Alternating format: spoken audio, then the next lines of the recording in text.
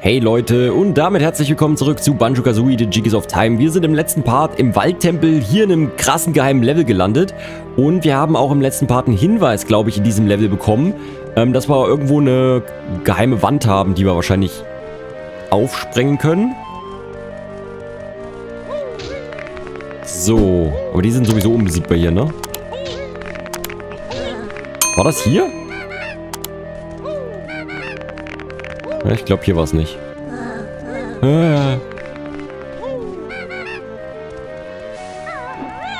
Okay.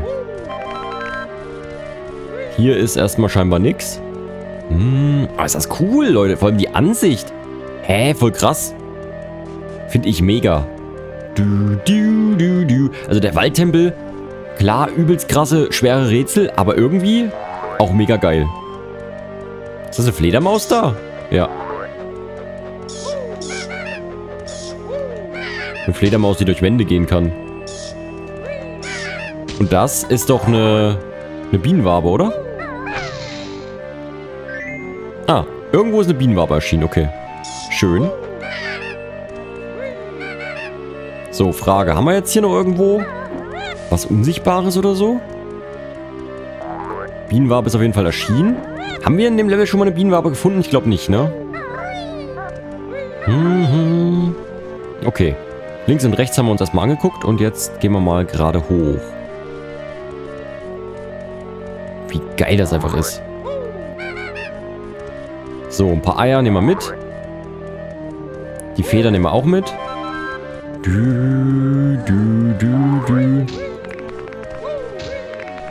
So, die zwei sind tot. Äh, ist halt blöd, dass die nur so 5 Sekunden tot bleiben. Oder nicht mal 5 Sekunden.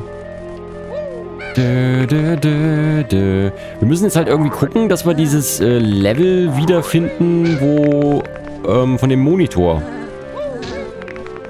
So, warte mal, ich gehe erstmal links gucken, was wir da haben.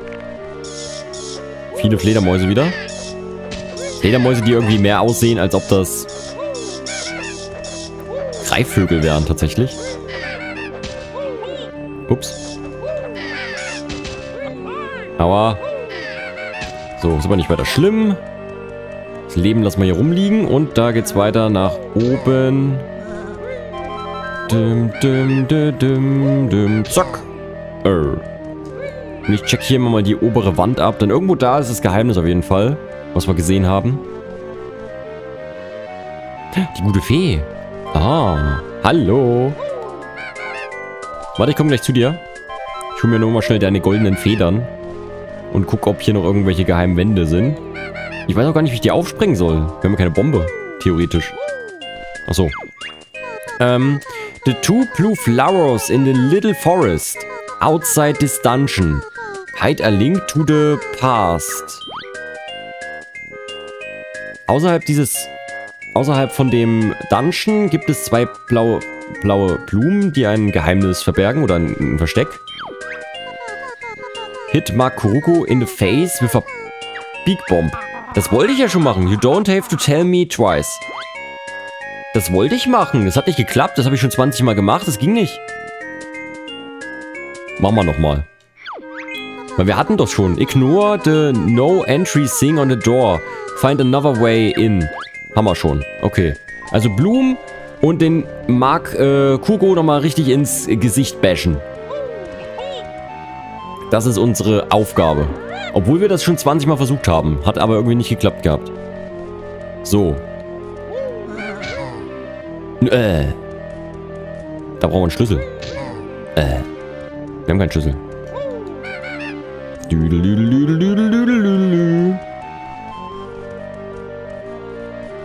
Okay. So. Die goldene Feder mit... Ähm. Nehmen wir mit. Zack. Du, du, du. Die rote brauchen wir gerade nicht. Da, da, da, Zack. Mm, mm, mm, mm. Ob es einen Boss gibt? Was meint ihr, Leute? So. Leben.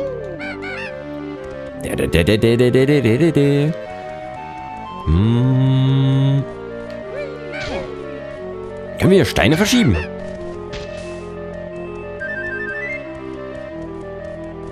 Gott, ey.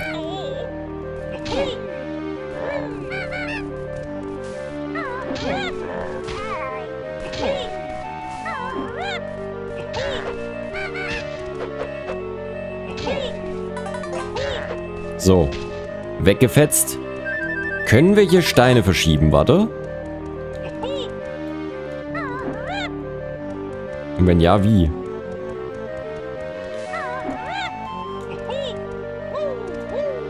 Ich, kann, ey, ich bin so dumm. Ich kann einfach drüber klettern. Stimmt. Oh Gott, was passiert jetzt? Oh ja, noch eine Wabe. Schön. Das heißt, wir haben hier auch beide Waben jetzt. Und da ist das Y. Hä, wie geil das gemacht ist. Voll geil. Sehr schön. Und wenn wir die andere Wabe gefunden haben, haben wir ein neues Leben. Das ist sehr viel wert für uns. Das ist super viel wert. Hallo. Danke. Schön. Ey, das gefällt mir richtig gut, dieses Level. Schön. Richtig geil. Also sowas kann ruhig öfter kommen, aber wir bleiben mal gespannt. Vielleicht, ne? Man weiß ja nicht. Vielleicht kommt ja noch irgendwas. Man weiß ja nicht. So, Eingang äh, sind wir irgendwo noch nicht gegangen auf jeden Fall. Fit.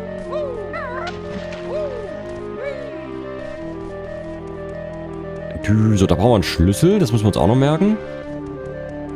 Dä, dä, dü. So, hier können wir noch ein Leben mitnehmen. Die liegen ja zum Glück jetzt überall rum. Und hier war es, ne? Genau, da drüben waren wir noch nicht drin. Shit, ey. Skelette sind super nervig. Warum kann ich die nicht töten? Kann man die irgendwie töten? Schreibt mir das gerne mal in die Kommentare rein, ob man die irgendwie töten kann. Wäre ein geiler Hinweis. So, das Kompass. Genau, hier kann ich jetzt einfach durchgehen. Das ist der Hinweis, Leute.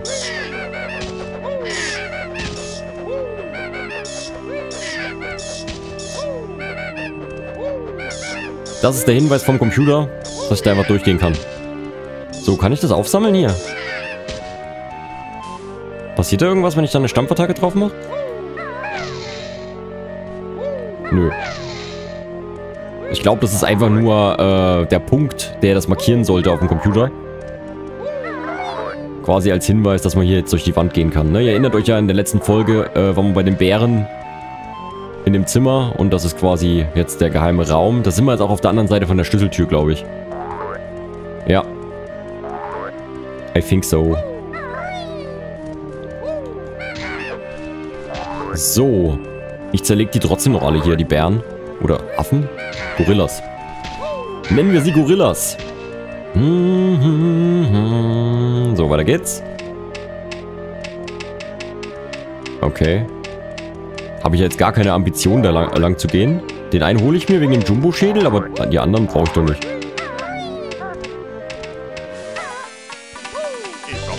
So, fertig. Warum soll ich mir die holen? Oh Gott! Er ist Endgegner oder was? Der Endgegner, den ich nicht berühren darf. Interessiert er sich überhaupt für mich? So, rein da. Und da haben wir das Finale. Geil. Und damit ein 9. Schön. Alter, guck mal, wie stark wir schon sind. Jetzt wäre es halt doch geil gewesen, wenn es hier einfach einen Exit gegeben hätte. Damit wir schnell wieder rauskommen. Aber nee, ist ja leider nicht vorhanden. Schade. Trotzdem sehr, sehr cool. Also das hat mega Spaß gemacht. Aber leider kein Puzzleteil, ne? Oder vielleicht habe ich was verpasst. Oder kann man den besiegen? Meint ihr, wir können den besiegen?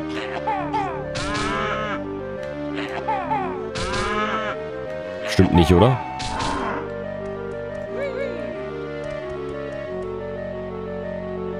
Nee.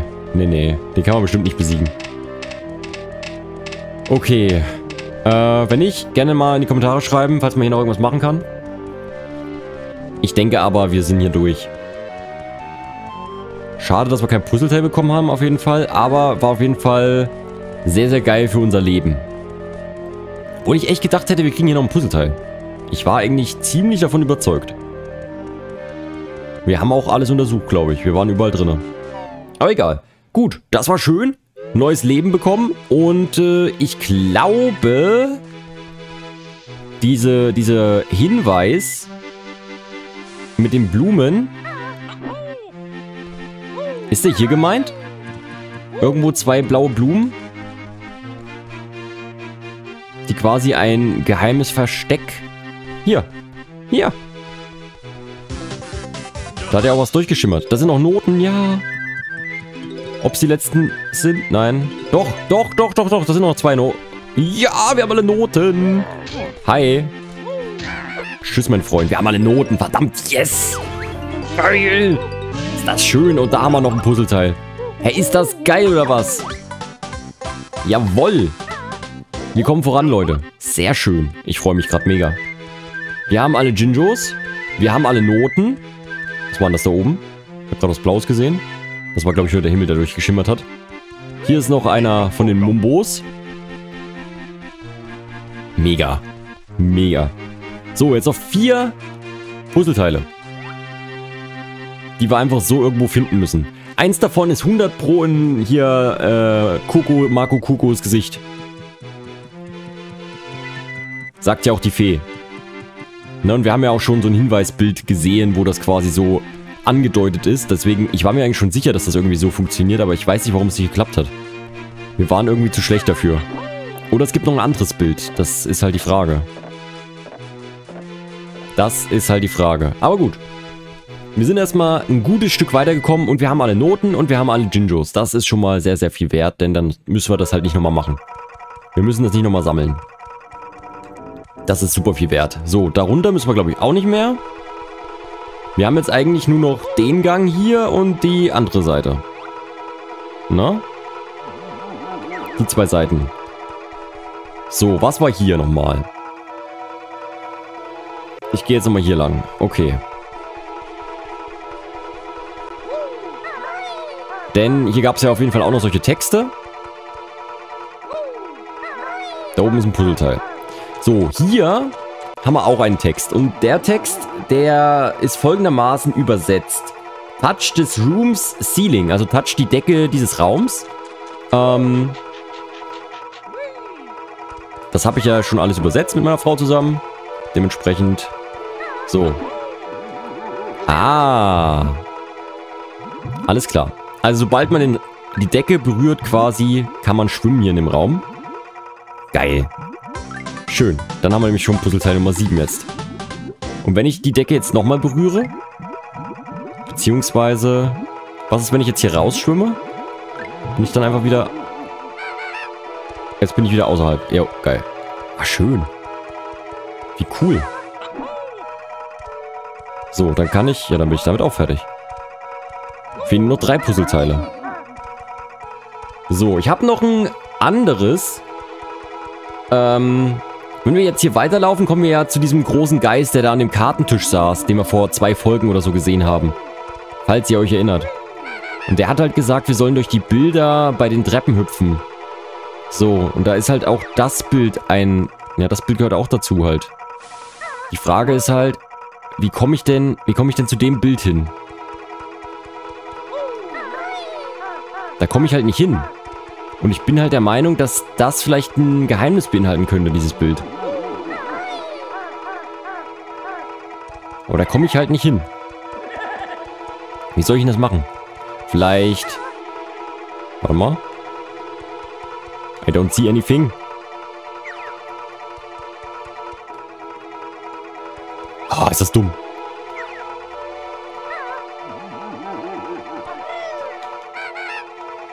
Ah, so könnte es was werden. Warte mal. Oder ging das gerade nicht?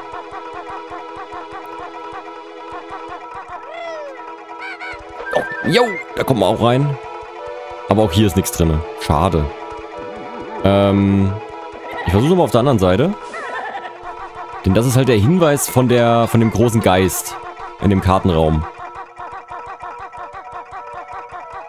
So, und hier ist ja auch nochmal dasselbe Spiel. Mist, das war knapp daneben.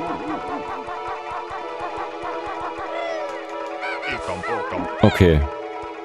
Aber das war's halt auch schon. Da ist nur ein Jumbo-Schädel drin gewesen. Ansonsten...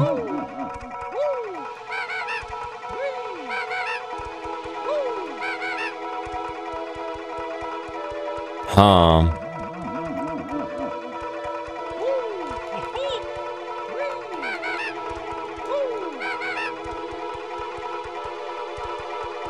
Ansonsten passiert da nicht viel. Denn da stand halt, warte mal.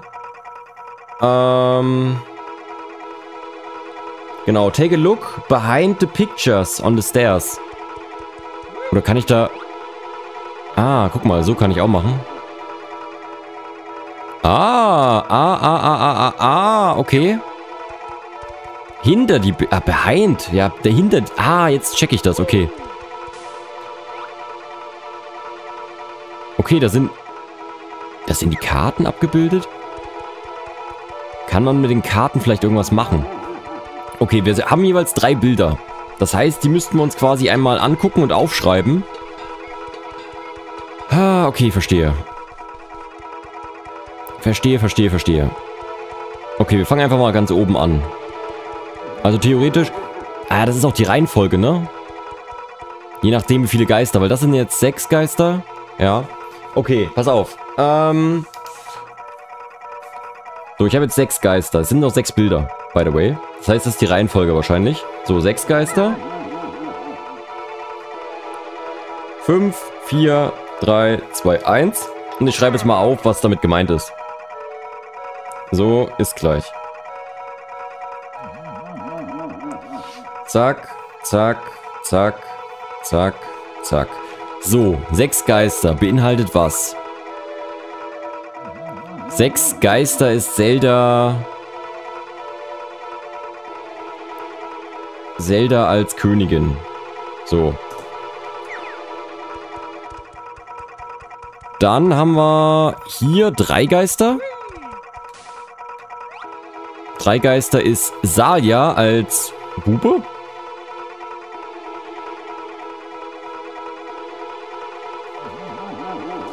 Okay. Und ich schätze, da müssen wir vielleicht auf die Karten drauf jumpen, irgendwie so. So, das sind zwei Geister. Es ist halt doof, dass ich das nochmal machen muss, aber ich habe es jetzt eben erst gecheckt. So. Aha. Das ist wieder... Zwei Geister ist wieder Zelda. Das ist, die, das ist dieselbe Zelda, oder? Ich denke schon. Zelda als Queen. Okay. Und da drüben müssten wir jetzt theoretisch noch 1, 4 und 5 haben.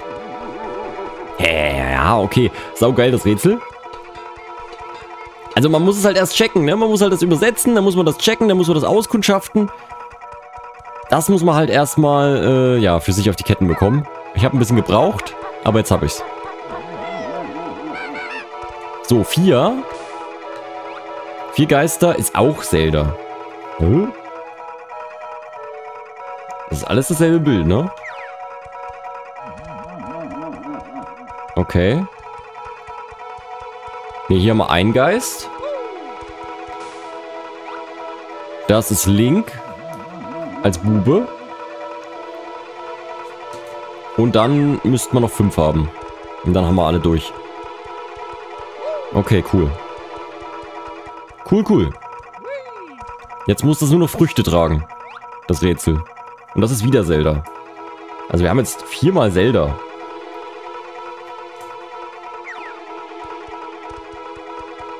Viermal. So, genau. Dann kamen wir in den Raum. Der ist aber schon abgeschlossen, glaube ich.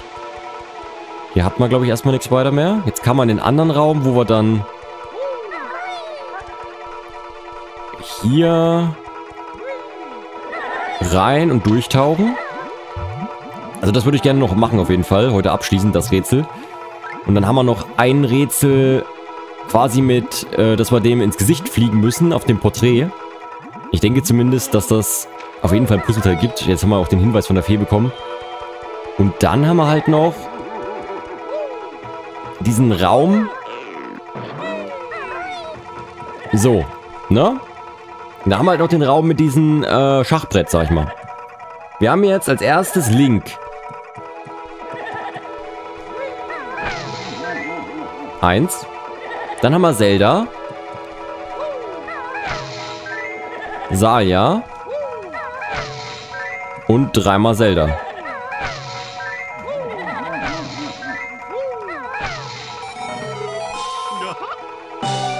Ha. Geil. Wir haben es gelöst, Leute. Sau gut.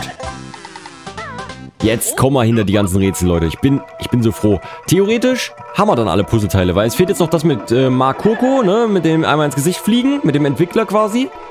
Und einmal der Raum mit den, ähm, mit dem Schachbrett, mit den weiß gefliesten Räumen, mit der weiß geflieste Raum. Und dann müssten wir, wenn da überall noch ein Puzzleteil drin ist, alles haben. Cool. Gut, Leute, ich würde sagen, das war's. Vielen Dank fürs Zusehen. Gerne liken, kommentieren. Und bis zum nächsten Mal zu Banjo-Kazooie The Jig is of Time. Tschüssi.